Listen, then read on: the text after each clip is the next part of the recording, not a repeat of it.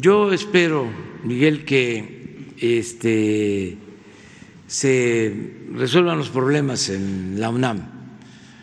Em, no hay eh, condiciones para em, llevar a cabo un movimiento que paralice la universidad. No es la situación del 68, del autoritarismo que prevalecía, ni posterior al 68, cuando esa toma de este, la universidad a la que haces referencia